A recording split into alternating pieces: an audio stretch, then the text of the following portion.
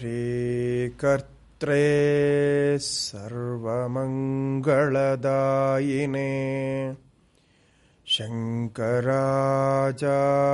ശങ്കരാചാര്യവർയായ യതിരാജായത്തെ നമ ഓം സൗന്ദര്യലഹരിയുടെ ആറാമത്തെ ശ്ലോകമാണ് മനനം ചെയ്തത്. ശ്ലോകങ്ങളുടെ ഒരു സാമാന്യ പരിചയം അതിൽ ശ്ലോകാന്വയം ശ്ലോകാന്വയത്തിൽ വരുന്ന വിശേഷ വിഷയങ്ങൾ എന്തെങ്കിലും ഉണ്ടെങ്കിൽ അതിനെ അല്പം ഒന്ന് വിസ്തരിച്ചു പറയുന്നു. അത് കഴിഞ്ഞ് ശ്ലോകത്തിന്റെ സാമാന്യ അർത്ഥവിചാരം. എന്താണ് ശ്ലോകത്തിൽ പ്രതിപാദിക്കുന്നത് എന്ന രീതിയിലാണ് നമ്മളിവിടെ ഈ സൗന്ദര്യലഹരി പഠനം നടത്തുന്നത്. ആറാമത്തെ ശ്ലോകത്തിൽ ഈ സൃഷ്ടിയുടെ ഒരു ശക്തിയായ സൃഷ്ടിയെ പ്രവർത്തിപ്പിക്കുന്ന കാമദേവന്റെ ശക്തിയെക്കുറിച്ചാണ് പറഞ്ഞത്. കാമദേവന് വാസ്തവത്തിൽ സ്വതവേ ശക്തിയൊന്നുമില്ല. കാമദേവന്റെ ശക്തി പരാശക്തിയുടെ തന്നെ അനുഗ്രഹമാണ്. കേവലം പരാശക്തിയുടെ അപാംഗ വീക്ഷണം കൊണ്ടാണ് കടാക്ഷം കൊണ്ടാണ് കാമദേവൻ ഇത്രയൊക്കെ ചെയ്യുന്നത്. സൃഷ്ടിയിൽ സൃഷ്ടിയുടെ ആ പ്രവർത്തനം നടത്തിക്കൊണ്ടു പോകാൻ കാമദേവനുള്ള പങ്ക് വളരെ പ്രസിദ്ധമാണ്. എല്ലാ ജീവികളും ആ വികാരത്തിന് അടിമയായിട്ടാണ് സൃഷ്ടി ചെയ്യുന്നതായിട്ട് കാണുന്നത്. അതുകൊണ്ടാണ് ശിവശക്തിയായുക്തോ എന്ന് ആരംഭിച്ച ആ സൃഷ്ടിയുടെ ക്രമത്തിൽ സാധാരണ ലോകർ മനസ്സിലാക്കുന്ന ഈ സൃഷ്ടിക്രമത്തെയും കൂടി പറഞ്ഞത്. സൃഷ്ടി പറയുമ്പോൾ എല്ലാം ചേർത്ത് പറയണം. അല്ലെങ്കിൽ എല്ലാ തരത്തിലുള്ള ഭാവങ്ങളും അവിടെ വരണം. സംശയമൊന്നും നിൽക്കാൻ പാടില്ല. അപ്പോൾ ഈ കാമന്റെ പ്രവൃത്തിയെക്കുറിച്ച് സൂചിപ്പിക്കുമ്പോൾ ആസ്തികരും അതുപോലെ തന്നെ നാസ്തികരും യുക്തിവാദികളുമൊക്കെ വിചാരിക്കുന്ന അല്ലെങ്കിൽ അംഗീകരിച്ചിരിക്കുന്നത് കാമശക്തിയിലായിട്ടാണ് ഈ സൃഷ്ടിയൊക്കെ ഉണ്ടാകുന്നത് എന്നാണ്. അതിനെക്കുറിച്ച് ചരാചരങ്ങളുടെ സ്ഥിതിയെക്കുറിച്ച് നമ്മൾ ചിന്തിക്കുമ്പോൾ അതിന് മറ്റൊരു ശക്തിയില്ല എന്ന് പോലും തോന്നിപ്പോകും. പക്ഷെ വാസ്തവത്തിൽ അങ്ങനെ അല്ല. ശക്തിയിലൂടെയാണ് ഇത് പ്രവർത്തിക്കുന്നത്. എല്ലാത്തിനും ശക്തിയാണ് എന്ന് നമുക്ക് തിരിച്ചറിയാൻ കഴിഞ്ഞാൽ ആ വ്യാപക ശക്തിയെ നമുക്ക് ഉൾക്കൊള്ളാൻ കഴിഞ്ഞാൽ ഈ സൃഷ്ടിയും സ്ഥിതിയും സംഹാരവുമൊക്കെ ഒന്നിൽ തന്നെ ലയിക്കുന്നതാണ് എന്ന് മനസ്സിലാക്കാം. ആ ഭാവത്തിലാണ് ഇവിടെ ദേവിയുടെ വർണന ചെയ്യുന്നത്. ഇതുവരെയും ഏതൊരു പരാശക്തിയെയാണോ സ്തുതിച്ചുകൊണ്ടിരിക്കുന്നത്?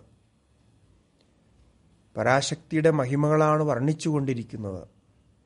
എന്നാൽ ആ പരാശക്തി ത്രിപുരസുന്ദരിയുടെ ആകാരമെന്താണ്? ഏതാകാരത്തിൽ നാം ധ്യാനിക്കണം എന്ന് ഇതുവരെയും ആചാര്യസ്വാമിജികൾ വ്യക്തമാക്കിയിട്ടില്ല. ത്രിപുരസുന്ദരി എന്ന പേര് ലളിതാംബിക എന്ന പേര് ഈ നൂറ് ശ്ലോകങ്ങളിൽ എവിടെയും പറയുന്നുമില്ല. അതൊരു കവി ഭാവനയുടെ ഒരു പ്രത്യേകതയാണ്. പറയാതെ തന്നെ വർണന കൊണ്ട് കാര്യം മനസ്സിലാക്കിപ്പിക്കുക. ആ വർണനയുടെ ഭാവത്തിൽ നമ്മൾ ചിന്തിക്കുമ്പോൾ നമ്മുടെ മനസ്സിൽ ആ രൂപം തെളിയണം. അതാണ് കവിഭാവനയുടെ ബലം. അപ്പോഴാണ് കവിഭാവന തെളിയുന്നത്. അതുകൊണ്ടായിരിക്കാം അങ്ങനെ പേര് എടുത്തു പറയാതെ വർണിച്ചു പോവുകയാണ്. എങ്കിലും ചിന്തിക്കാനിരിക്കുന്ന ഒരു സാധകന് സ്വരൂപമെന്താണ് എന്ന് സാമാന്യമായിട്ടെങ്കിലും അറിയേണ്ടി വരും. അറിയാതെ ഒരിക്കലും ധ്യാനിക്കാനോ ചിന്തിക്കാനോ പ്രവർത്തിക്കാനോ പറ്റില്ല.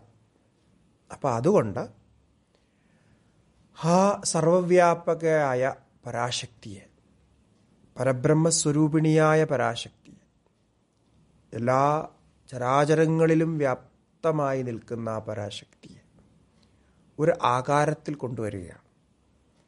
ആകാരത്തിൽ കൊണ്ടുവന്നാൽ മാത്രമേ ധ്യാനിക്കാൻ കഴിയൂ. ധ്യാനത്തിന് വേണ്ടിയാണ് വാസ്തവത്തിൽ ആകാരകൽപ്പന. നമുക്ക് ധ്യാനിക്കാനും പൂജിക്കാനും ഒക്കെ വേണ്ടിയിട്ട്. അപ്പോൾ ആകാരം കൽപ്പിക്കുമ്പോൾ അതിസുന്ദരമായ രീതിയിൽ അത് കൽപ്പിക്കണം. അതെന്തുകൊണ്ട് എന്ന് ചോദിച്ചാൽ ഈ ലോകത്ത് കാണുന്ന പ്രാകൃതികമായ ഭൗതികമായ സൗന്ദര്യങ്ങളുടെ ഒക്കെ പരമകാരണമാണ് ആ പരാശക്തിയെങ്കിൽ ഈ സൗന്ദര്യങ്ങളുടെ ഒക്കെ പൂർണത അതിന്റെ അത്യുത്കൃഷ്ടത ആ പരാശക്തിയിലുണ്ടാകും. അങ്ങനെ ചിന്തിക്കുമ്പോൾ എവിടെയൊക്കെയാണോ നമ്മൾ സൗന്ദര്യം കാണുന്നത് അത് ഒരു മരത്തിലാകാം ഒരു പുഷ്പത്തിലാകാം ഒരു ഭൂപ്രദേശത്താകാം സമുദ്രത്തിലാകാം ജീവികളിലാകാം ദേവന്മാരിലാകാം അല്ലെങ്കിൽ നമുക്ക് ചുറ്റും കാണുന്ന ഈ പഞ്ചഭൂതങ്ങൾ തന്നെയാകാം. ഏതിലൊക്കെ നമുക്ക് സൗന്ദര്യം കാണാൻ കഴിയുന്നു ഇഷ്ടം തോന്നുന്നുവോ നമ്മളെ ആകർഷിക്കുന്ന തത്വങ്ങളുണ്ടോ? ചില ഭൂപ്രദേശമൊക്കെ കാണുമ്പോൾ ഭയങ്കരമായ ആകർഷണം നമുക്ക് തോന്നും. എന്താണ് അതിന് കാരണം? അതെങ്ങനെ സംഭവിക്കുന്നു? ആ രീതിയിലാണ് ചിന്തിക്കുന്നത്. അപ്പോൾ ആ സൗന്ദര്യം ഒരു ഭൂപ്രദേശത്തിന്റെ സൗന്ദര്യം പോലും നമ്മളെ മണിക്കൂറുകളോളം ആകർഷിപ്പിക്കുന്നു. ചിലവരുടെ ജീവിതം മുഴുവൻ അങ്ങനെ അതിൽ ആകൃഷ്ടരായി അവിടെ തന്നെ അവർ കഴിഞ്ഞുകൂടാൻ ഇഷ്ടപ്പെടുന്നു. ഒരു ഭൂപ്രദേശത്തിന് ഒരു ജഡമായ ഭൂപ്രദേശത്തിന് ഇത്രയും ആകർഷതയുണ്ടെങ്കിൽ ഇതിന്റെയൊക്കെ പരമകാരണമായ ആ പരാശക്തിക്ക് എല്ലാം ഏതിൽ നിന്നാണോ വന്നത്? ആ പരാശക്തിക്ക് എത്ര സൗന്ദര്യമുണ്ടാകും. അപ്പം സൗന്ദര്യത്തിന്റെ മുഴുവൻ സ്രോതസ്സായിരിക്കും. എന്തൊക്കെ ഏതൊക്കെ രീതിയിൽ സൗന്ദര്യ കൽപ്പന നമുക്ക് ചെയ്യാൻ കഴിയുമോ അതിന്റെയൊക്കെ പരമപൂർണതയായിരിക്കും ആ പരാശക്തിയുടെ സൗന്ദര്യം. കാരണം കാരണത്തിൽ നിന്നാണ് കാര്യമുണ്ടാകുന്നത്. കാരണം എങ്ങനെയാണോ അതേ രീതിയിലായിരിക്കണം കാര്യവും. അപ്പോൾ കാര്യം സൗന്ദര്യമുള്ളതാണെങ്കിൽ കാരണം ഒരിക്കലും അതിൽ കുറവ് സൗന്ദര്യമുള്ളതാകാൻ വഴിയില്ല. അപ്പോൾ ഈ ഭാവനയിൽ നമ്മൾ ചിന്തിക്കുമ്പോൾ നാം ധ്യാനിക്കാൻ ഇഷ്ടപ്പെടുന്ന ആ പരാശക്തി ആ പരാശക്തിയുടെ സ്വരൂപം ഒരു ദേവീഭാവത്തിൽ നമ്മൾ ചിന്തിക്കുമ്പോൾ അത് ഏറ്റവും സൗന്ദര്യത്തോടു കൂടിയതായിരിക്കും എന്ന ഭാവനയിലാണ് ഈ വർണനകളൊക്കെ പോകുന്നത്. ഇതേ രീതിയിലുള്ള അനേകം അനേകം ഭാവനാ വർണനകൾ വേദത്തിൽ തുടങ്ങി നമ്മുടെ ശാസ്ത്രങ്ങളിലെല്ലാം വ്യാപിച്ചു കാണാം. അത് കേവലം ഭൗതികമായ ദൃഷ്ടിയിൽ മനസ്സിലാക്കാൻ കഴിയുന്നതല്ല. അതിന്റെ ഭാവന മനസ്സിലാക്കണമെങ്കിൽ ഈ പറഞ്ഞ താത്വികമായ ചിന്ത കൂടി വേണം. എന്താണ് പുരുഷൻ? എന്താണ് ചൈതന്യം? എന്താണ് പ്രകൃതി? എന്താണ് ദേവിയുടെ സ്വരൂപം? അങ്ങനെ അത് പറയാൻ കാരണമെന്ത് എന്ന് നമ്മൾ ചിന്തിക്കണം. സ്വാഭാവികമായിട്ട് ചിന്തിച്ചാൽ തന്നെ മനസ്സിലാകുന്നതാണ് നേരത്തെ ഞാൻ പറഞ്ഞ കാര്യകാരണ ബന്ധം. അപ്പോൾ സൗന്ദര്യമുള്ള ആകാരവടിവുള്ള അച്ഛനമ്മമാരിൽ നിന്ന് സുന്ദരനായ സുന്ദരിയായ കുട്ടികളുണ്ടാകുന്നു. ഇത്രയേ ഉള്ളൂ അതിന്റെ സാരം. അപ്പോൾ കാരണം എങ്ങനെയാണോ അച്ഛനമ്മമാരുടെ സ്വരൂപം എങ്ങനെയാണോ ആകാരം എങ്ങനെയാണോ സൗന്ദര്യം എങ്ങനെയാണോ കുട്ടിയിലും ആ സൗന്ദര്യം തന്നെ വരും. അതേ ഭാവത്തിൽ ഈ കാണപ്പെടുന്ന പ്രകൃതിയിൽ ഇത്രയധികം സൗന്ദര്യമുണ്ടെങ്കിൽ അതിന്റെ കാരണത്തിലും സൗന്ദര്യമുണ്ടാകണം. അതിന്റെ കാരണത്തിലും ആനന്ദമുണ്ടാകണം. അതെല്ലാ ആനന്ദത്തിന്റെയും സ്രോതസ്സായിരിക്കണം. എപ്പോഴും നമ്മൾ ഇഷ്ടപ്പെടാൻ നമുക്കെപ്പോഴും മനസ്സിൽ ഉൾക്കൊള്ളാൻ കഴിയുന്നതായിരിക്കണം. ആ ഭാവനയിൽ ആദ്യത്തെ ഏഴാമത്തെ ശ്ലോകത്തിൽ ദേവിയുടെ സ്ഥൂല ധ്യാന വർണിക്കുകയാണ്. അത് കഴിഞ്ഞ് അടുത്ത എട്ടാമത്തെ ശ്ലോകത്തിൽ സാധനാപരമായിട്ടുള്ള സൂക്ഷ്മധ്യാനവും പിന്നെ അത് കഴിഞ്ഞ് വർണിച്ചു പോകുമ്പോൾ അതിൽ കുണ്ടലിനി ധ്യാനവും കുണ്ടലിനി രൂപത്തിലുള്ള ദേവിയുടെ ധ്യാനവും ശ്രീചക്രാകാരത്തിലുള്ള ദേവിയുടെ ധ്യാനവും അത് കഴിഞ്ഞിങ്ങനെ കാലത്തിന്റെ വർണനയും ഒക്കെ തുടർന്നു വരും. അപ്പം ഇനി ഭാവന ചെയ്യാനുള്ള പല തലത്തിൽ സ്ഥൂലമായ ഒരു സ്ത്രീരൂപത്തിലുള്ള ദേവീരൂപത്തിലുള്ള ആ സ്ഥലത്തിലും സൂക്ഷ്മമായ തലത്തിലും അതിന്റെ ഏറ്റവും സിംബോളിക്കായ ശ്രീചക്രത്തിന്റെ രൂപത്തിലും ഇങ്ങനെ പല തലത്തിലും ആ പ്രകൃതി ശക്തിയെ നാം ധ്യാനിക്കുകയാണ്. അപ്പോൾ ആകാരം ഇവിടെ മുഖ്യമാണോ എന്ന് ചോദിച്ചാൽ ആകാരം മുഖ്യമല്ല. ആകാരത്തിൽ നിന്നുണ്ടാകുന്ന ഭാവനയാണ് മുഖ്യമായിരിക്കുന്നത്.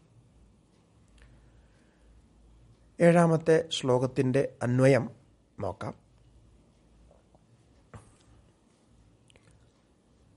കുണത്കാഞ്ചീദാമാകരികളഭകുംഭസ്തനനത മധ്യേ പരീക്ഷീണ പരിണതശ്ചരശ്ചന്ദ്രവദന.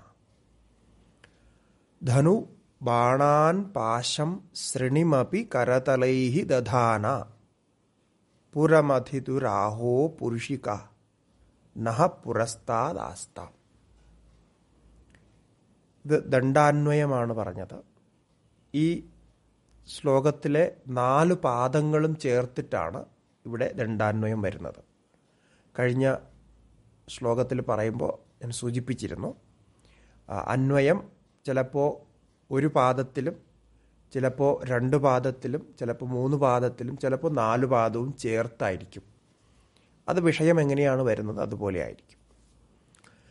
ഇവിടെ ആകാരവർണനയായതുകൊണ്ട് ചേർത്ത് തന്നെ പറയുകയാണ്. ഇപ്പം സ്ഥൂലധ്യാനം സ്ഥൂലധ്യാനം എന്നുകൊണ്ട് ഉദ്ദേശിക്കുന്നത് ഒരു ആകാരം നമ്മുടെ മനസ്സിൽ ഒരു സ്ഥൂലമായ ആകാരം നമ്മുടെ മനസ്സിൽ കൊണ്ടുവരും. അതിനുശേഷം അതിന്റെ ആന്തരിക അർത്ഥത്തെ വ്യാഖ്യാനിച്ചുകൊണ്ട് കൂടുതൽ അമ്മയിലേക്ക് ദേവിയിലേക്ക് ഭാവം ഉൾക്കൊണ്ടുകൊണ്ട് സൂക്ഷ്മധ്യാനം പറയും. ഈ സൂക്ഷ്മധ്യാനം അടുത്ത ശ്ലോകത്തിൽ അതിന് പരാധ്യാനം എന്നൊക്കെ പറയാറുണ്ട്. അത് അടുത്ത ശ്ലോകത്തിൽ വരും. സ്ഥൂലധ്യാനത്തിൽ ആദ്യം പറയുന്നത് കൊണത് കാഞ്ചീദാമ കൊണത് എന്ന് പറഞ്ഞാൽ ശബ്ദമുണ്ടാക്കുന്ന കിലുകില എന്ന് ശബ്ദമുണ്ടാക്കുന്ന. കാഞ്ചീദാമ കാഞ്ചി എന്ന് പറഞ്ഞാൽ ഓഢ്യാണമാണ്. അതായത് ശരീരത്തിന്റെ മധ്യഭാഗത്ത് കെട്ടുന്ന ആ ഒരു ആഭരണം ആഭൂഷണത്തെയാണ് ഓഢ്യാണം എന്ന് പറയുന്നത്. അപ്പോൾ കൊണത് കാഞ്ചി ദാമ. ദാമ എന്ന് പറഞ്ഞാൽ അത് കെട്ടിയിരിക്കുന്ന കയർ. അങ്ങനെയുള്ള കാഞ്ചീദാമം ആ ഒരു കയറിന്റെ ആകാരത്തിൽ ചുറ്റിയ ഒഡ്യാണം. ഒഡ്യാണത്തിന് മേഖല എന്നും പറയാറുണ്ട്. മേഖല ഒഡ്യാണം അത് കെട്ടിയിരിക്കുന്നു.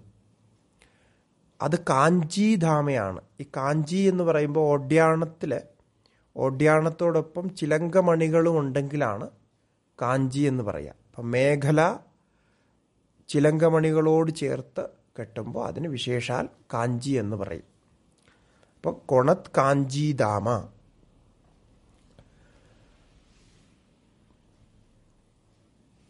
പിന്നെയോ കര കള കരി കളഭ കുംഭസ്തനനഥ.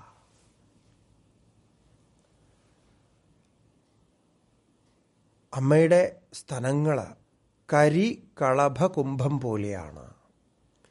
കരി ആന കളഭം എന്ന് വെച്ചാൽ കുട്ടിയാന.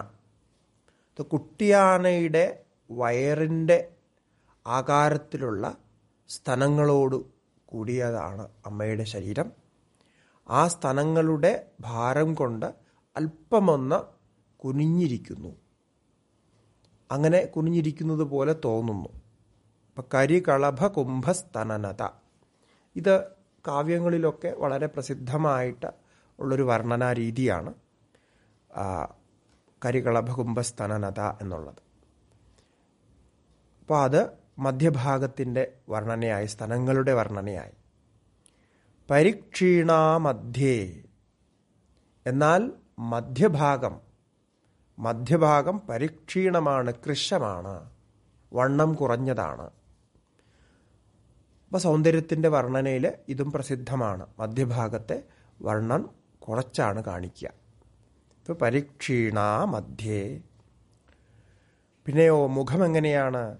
പരിണത ശരശ്ചന്ദ്രവതന പരിണതം എന്ന് പറഞ്ഞാൽ പൂർണമായ. ഇപ്പോൾ ഓരോ ദിവസം കൂടി കൂടി കൂടി കൂടി പരിണമിച്ച് പരിണമിച്ച് പൂർണചന്ദ്രാകൃതി പ്രാപിച്ച ചന്ദ്രൻ. അത് ഏത് ചന്ദ്രനാണ്? വിശേഷാൽ ചന്ദ്രനാണ്. ശരശ്ചന്ദ്രൻ.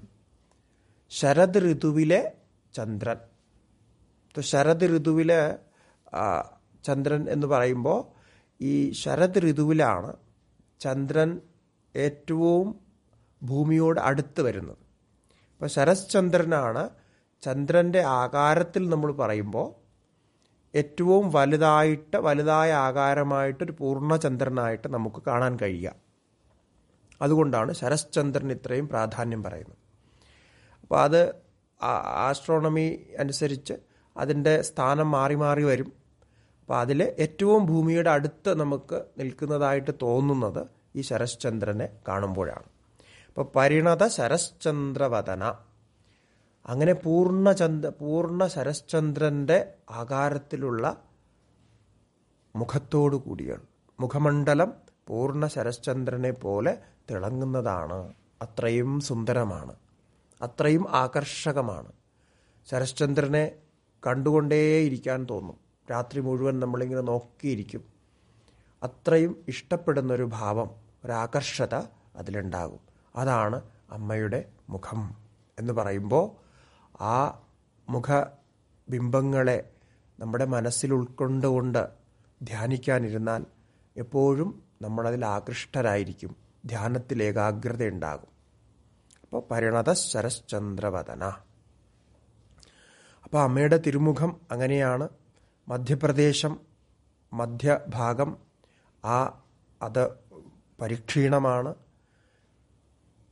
കൊണത് കാഞ്ചി ചിലങ്ക ഓഢ്യാണത്തിലെ ചിലങ്കകളോട് കൂടിയ ഓഢ്യാണം ധരിച്ചിരിക്കുന്നു മണികളോട് കൂടിയ ഓഢ്യാണം ധരിച്ചിരിക്കുന്നു. കരി കളഭകുംഭ സ്തനനത സ്തനത്തിന്റെ ഭാഗം സ്തനഭാഗത്ത് ഒന്ന് കുനിഞ്ഞ അത്രയും വലിയ സ്ഥലങ്ങളോടുകൂടിയ ആകാരത്തിൽ അമ്മയുടെ വർണന ചെയ്തു. ഇത് ശരീരത്തിന്റെ ഒരു ഘടന വർണനമായി. ഇനി കൈകളെക്കുറിച്ച് പറയുകയാണ്. കൈകളിൽ ധനുർ ബാണാൻ പാശം ശ്രിണിമപി ദധാന കരതലൈഹി.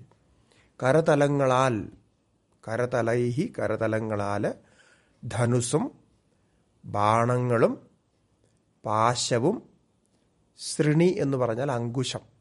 ഈ നാലും ധരിച്ചിരിക്കുന്നു. അപ്പം നാല് കൈകളുണ്ട്.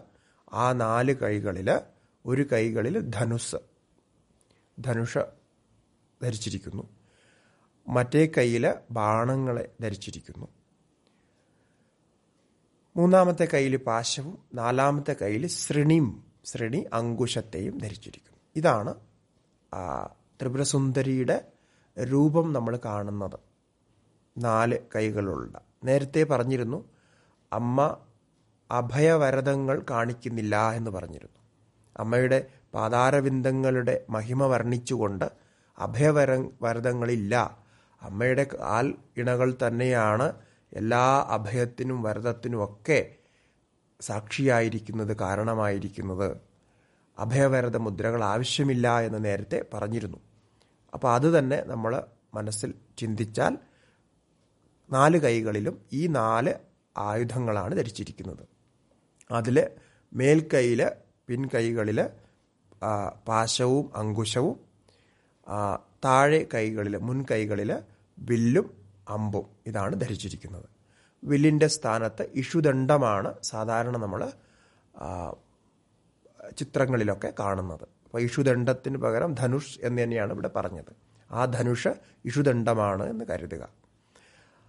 ബാണങ്ങൾ പഞ്ചശരന്റെ ബാണങ്ങൾ എന്തൊക്കെയാണോ അതൊക്കെ തന്നെയാണ് അമ്മ ധരിച്ചിരിക്കുന്നത്. ഇങ്ങനെ ദധാന ദധാന എന്ന് വെച്ചാൽ ധരിച്ചിരിക്കുന്ന കരതലങ്ങളുള്ളവൾ. അങ്ങനെയുള്ള ആ അമ്മ. അമ്മയുടെ ആ സ്വരൂപം അമ്മയുടെ ആ ത്രിപുരസുന്ദരിയുടെ ആ സ്വരൂപം. പുരമധിതുരാഹോ പുരുഷിക നഹപ്പുരസ്താദാസ്താം. പുരമധിതുഹു പുര പുരം മധിതുഹു എന്ന് പറഞ്ഞാൽ ശിവനെയാണ് ഇവിടെ പറയുന്നത്. പുരാരി എന്നൊക്കെയുള്ള ശബ്ദം നേരത്തെ പറഞ്ഞു. പുരമധിതു പുരങ്ങളെ മധിക്കുന്നവൻ ഈ പുരങ്ങളെന്ന് പറയുമ്പോൾ ജാഗ്രത സ്വപ്ന സുഷുപ്തികളെയാണ് ആധ്യാത്മികമായിട്ട് പറയുന്നത്. അതുപോലെ പുരങ്ങളെന്ന് പറയുമ്പോൾ സൃഷ്ടിയെ മുഴുവനും പറയാറുണ്ട്. അതുപോലെ ഈരേഴ് ഭുവനങ്ങളെയും പറയാറുണ്ട്. ഇതൊക്കെ പുരങ്ങളാണ്. അതുപോലെ താന്ത്രിക പ്രകാരം മറ്റർത്ഥങ്ങളും ഇതിനുണ്ട്. ഏതായാലും പുരമധിതുഹു എന്ന പദത്തിനർത്ഥം പുരമധിതുഹു പരമശിവൻ പുരമധിത പരമശിവൻ. അതിന്റെ വിഭക്തി ചെയ്ത് പുരമധിതുഹു. അങ്ങനെ പുരമ പുരമന്ധനം ചെയ്യുന്ന പരമശിവന്റെ ആഹോപുരുഷികയാണ്. അത് ഒരു പ്രത്യേക പ്രയോഗമാണ്. താന്ത്രിക ശാസ്ത്രമനുസരിച്ചും സാഖ്യശാസ്ത്രമനുസരിച്ചുമുള്ള ദേവിയുടെ ഭാവവും ശിവന്റെ ഭാവവും ചേർത്ത ഒരു പ്രയോഗമാണ് ഈ ആഹോ പുരുഷിക എന്നത്.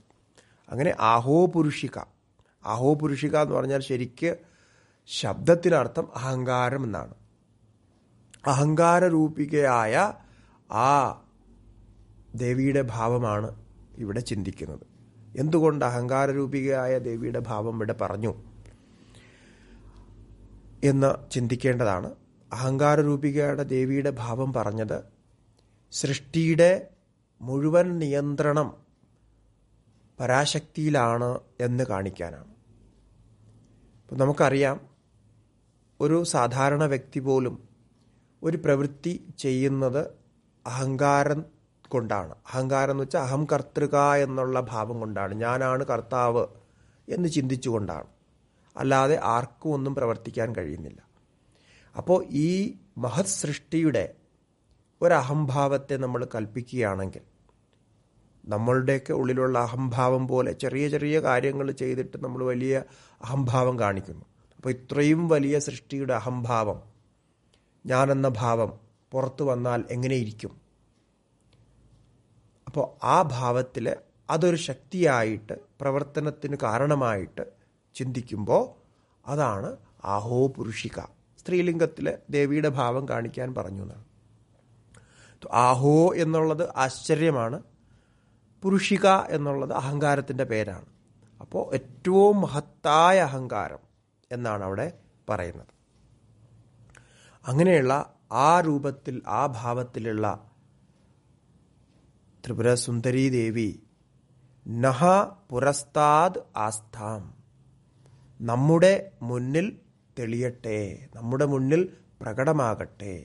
അപ്പോൾ പുരസ്താദ് ആസ്താം എന്ന് പ്രാർത്ഥിച്ചത് കൊണ്ടാണ് ഇവിടെ ധ്യാനശ്ലോകമായിട്ട് ഇത് കാണാൻ കഴിയുന്നത്.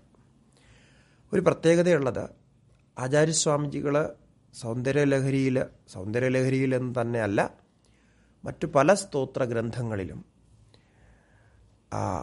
നഹ അല്ലെങ്കിൽ നമുക്ക് നമ്മുടെ മുന്നിൽ എന്ന ബഹുവചനത്തിലാണ് പ്രയോഗിച്ചിട്ടുള്ളത്. ഇവിടെ എന്റെ മുന്നിൽ എന്ന് വേണമെങ്കിൽ ആചാര്യസ്വാമിജികൾക്ക് പറയാമായിരുന്നു തീർച്ചയായിട്ടും പറയാമായിരുന്നു. പക്ഷേ അങ്ങനെ പറയുന്നതിന് പകരം നമ്മുടെ മുന്നിൽ വരട്ടെ. ധുനോദുധ്വാന്തം നഹ. അടുത്തു വരുന്ന ശ്ലോകങ്ങളിൽ പറയുന്നുണ്ട്. തനോദു ക്ഷേമം നഹ. അവിടെയൊക്കെ നമ്മുടെ അന്ധകാരം നമ്മുടെ അജ്ഞാനമില്ലാതാകട്ടെ നമുക്കെല്ലാവർക്കും ക്ഷേമം വരട്ടെ എന്ന് ആണ് ആചാര്യസ്വാമിജികൾ പ്രയോഗിച്ചത്. എവിടെയും ഏകവചനത്തിൽ എനിക്ക് മാത്രമുണ്ടാകട്ടെ എനിക്കുണ്ടാകട്ടെ എന്റെ മുന്നിൽ വരട്ടെ എന്ന് പ്രാർത്ഥിക്കുന്നില്ല. ഇവിടെ സാമൂഹ്യമായ ഒരു ചിന്ത കൂടി ചേർത്തിരിക്കുകയാണ് ആചാര്യസ്വാമിജികൾ. നമ്മൾ ഇപ്പോൾ ഇത്രയും വ്യാപകമായി സൗന്ദര്യലഹരിയുടെ ഒരു വലിയ യജ്ഞം തന്നെ ഏകീകൃതമായ ഒരു വലിയ യജ്ഞം തന്നെ ചെയ്യുമ്പോൾ ഈ വാക്കുകൾക്ക് വളരെ വളരെ പ്രാധാന്യമുണ്ട്. എല്ലാവരും ചേർന്ന് ദേവിയെ പ്രാർത്ഥിച്ച് ദേവിയുടെ സ്വരൂപം നമ്മുടെ മുന്നിൽ തെളിയട്ടെ എന്ന് പ്രാർത്ഥിക്കുമ്പോൾ അതൊരു വലിയ ശക്തിയാണ്. ആ ശക്തി എല്ലാവരെയും പരസ്പരം എല്ലാവരെയും ഒരുമിച്ച് രക്ഷിക്കും. അത് നമ്മുടെ ഭാരതീയ സംസ്കാരത്തിന്റെ കൂടി ഭാഗമാണ്. എല്ലാവർക്കും വേണ്ടി പ്രാർത്ഥിക്കുക എന്നുള്ളത്. സർവേ ഭവന്തു സുഖിന എന്നുള്ളതാണല്ലോ നമ്മുടെ ആശയം. അപ്പോൾ ആ ഒരു കുടുംബഭാവന ആ ഒരു ഏകത്വ ഭാവന അത് ആചാര്യസ്വാമിജികൾ ഇവിടെ വളരെ വ്യക്തമായി പ്രകടമാക്കിയിരിക്കുന്നു. അപ്പോൾ സ്വാർത്ഥത വിട്ട് മുന്നിലേക്ക് പോകണം എന്നാണ് ഇവിടെ കാണിക്കുന്നത്. അപ്പോൾ നമ്മുടെ മുന്നിൽ പുരസ്താദ് നമ്മുടെ മുന്നിൽ ആസ്താം തെളിയട്ടെ പ്രകടമാകട്ടെ ഇരിക്കട്ടെ വന്നു നിൽക്കട്ടെ എന്നൊക്കെ അർത്ഥം പറയാം. അപ്പോൾ ഇത് രണ്ടും കൂടെ ചേർത്തിരിക്കുന്നു എന്നുള്ളതാണ് ഇവിടെയുള്ളൊരു പ്രത്യേകത. ആഹോ പുരുഷിക എന്ന് പറയുന്നതോടൊപ്പം നഹപ്പുരസ്താദാസ്താം എന്നും ആചാര്യസ്വാമിജികൾ പറഞ്ഞു. സാഖ്യ പ്രക്രിയ അനുസരിച്ച് പ്രകൃതി പുരുഷൻ രണ്ട് തത്വങ്ങൾ പ്രകൃതി സൃഷ്ടിയുടെ കാരണം പുരുഷൻ ചൈതന്യം. പ്രകൃതിയും പുരുഷനും ചേർന്ന് ഒന്നാമത്തെ ശ്ലോകത്തിൽ പറഞ്ഞതുപോലെ ശിവശക്തികൾ ചേർന്നതുപോലെ ചേർന്ന് സൃഷ്ടിയുണ്ടാകുമ്പോൾ മഹത്തത്വം എന്ന സമഷ്ടി ബുദ്ധിയും പിന്നെ അഹങ്കാരം എന്ന തത്വവുമാണ് ഉണ്ടാകുന്നത്. അത് നമ്മൾ കിടന്നുറങ്ങി ഇങ്ങനെ എഴിച്ചു വരുമ്പോൾ നമുക്കൊരു പ്രവൃത്തി ചെയ്യണമെന്ന് ആദ്യം നമ്മുടെ മനസ്സിൽ തോന്നുന്നത് ഞാൻ എന്ന ഭാവത്തിൽ നിന്നാണ്. ഞാൻ ഉണർന്നു എനിക്കിത് ചെയ്യണം എന്റെ കർത്തവ്യമാണ് എനിക്ക് അത് വേണം എനിക്കിത് വേണം എന്നുള്ളതിലെല്ലാം അഹം എന്ന ഭാവമാണ് ഉണർന്നു വരുന്നത്. ബോധം തെളിയുമ്പോൾ ആദ്യം നമുക്ക് ഉണ്ടാകുന്ന ഒരു താതാത്മ്യം ഐഡന്റിഫിക്കേഷൻ അഹം എന്ന ഭാവത്തിലാണ്. അതുകൊണ്ടാണ് എല്ലാ പ്രവൃത്തികൾക്കും കാരണം അഹമാണ് അഹങ്കാരമാണ് അഹം കർത്തൃത്വമാണ് എന്ന് പറയുന്നത്. അഹങ്കാരം എന്ന വാക്കിനർത്ഥം അഹം കർത്തൃത്വം എന്നാണ്. ആ അഹം കർത്തൃത്വത്തിന്റെ വ്യാപക രൂപത കാണണം. അപ്പോൾ അതൊരു മഹാശക്തിയാണ്. അങ്ങനെ നോക്കുമ്പോൾ ആ വ്യാപകമായ അഹംകർത്തൃത്വത്തിൽ നിന്നാണ് ഈ സമ്പൂർണ പ്രകൃതിയും സമ്പൂർണ ചരാചരങ്ങളും ഉണ്ടായിരിക്കുന്നത്. ആ ഭാവത്തിൽ നമ്മൾ പരാശക്തിയെ നമ്മുടെ മനസ്സിൽ ധ്യാനിക്കുന്നു. ഈ പറഞ്ഞ ഒരു ദേവീയ ആകാരവും നമ്മുടെ മനസ്സിൽ വരുന്നു. അത് ഏതു ഭാവത്തിലായാലും നമ്മുടെ സ്വരൂപത്തിൽ അത് കുടികൊണ്ടാൽ അതാണ് നമുക്ക് ഈ ധ്യാനം കൊണ്ട് ലഭിക്കുന്ന ഏറ്റവും വലിയ ഫലം. എല്ലാ ദുഃഖങ്ങൾക്കും അറുതി വരുത്തുന്നതും ഈ രീതിയിൽ ചിന്തിക്കുമ്പോഴാണ്.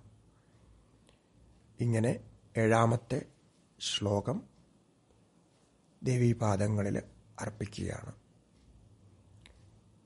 ത്വദീയാഭിർവാഗ്ഭിർസ്തവ ജനനിവാജാം സ്തുതിരിയം. ഓം